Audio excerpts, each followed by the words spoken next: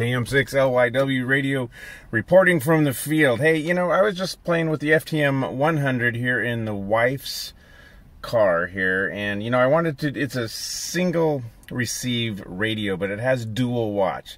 What does dual watch mean? Well, what I want to do is I want to listen to APRS all the time and get my packet information, you know, text messages and things, but I also kind of want to monitor the club repeater, the voice repeater at the same time.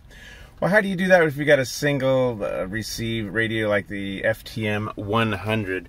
Well, they have dual watch. Um, it kind of makes it seem like it's a dual receive radio, but it's not. So most of the time, right now I've got memory B, I've got APRS in here. Um, this is channel 99 for me. Um, I also have a home station. If you press, if you set the home station, you press this bottom button and you see, I also want to monitor 441-300. Okay, let's go back to APRS.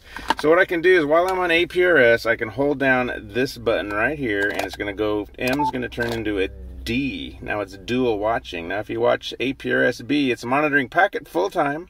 But if someone talks on my home station, which you can set in the in the menu entry here, um, it'll it'll lock onto that and talk and let me talk there. So every now and then you'll see this thing flip over to the other VFO just for like a fraction of a second. Um, so I'm getting my packet radio and I'm monitoring the voice repeater at the same time. I think that's pretty cool. Anyways, it's a it's a cheap radio. Uh, you know, the wife wasn't going to let me put an FTM 500 here in her car, so um, the FTM 100 is still a pretty cool radio.